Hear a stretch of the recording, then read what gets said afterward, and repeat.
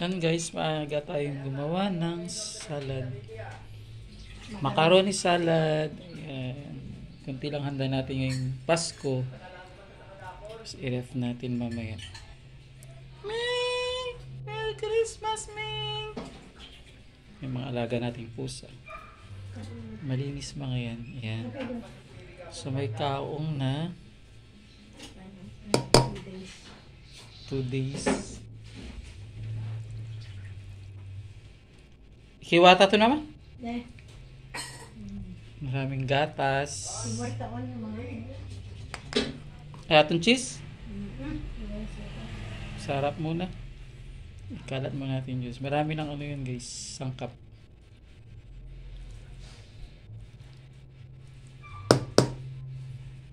Healthy. Ming baba kami. Ay. Mix. May natira pa tayong mix. Fruit. May isa pa.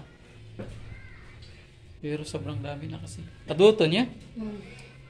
Sobrang dami na kasi. Ay, daming ano, ingredients. Sarap yan pag malamig mamaya.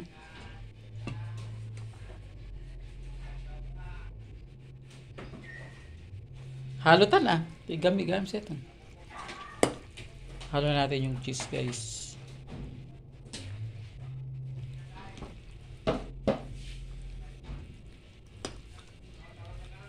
Ay, nawaan.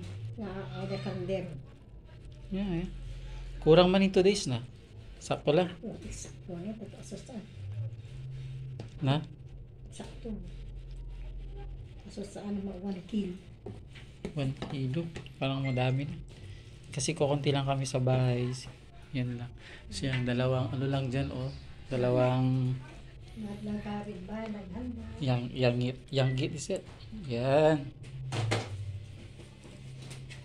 So, ilagay natin, tapos i-ref na natin mamaya doon. So, solve na.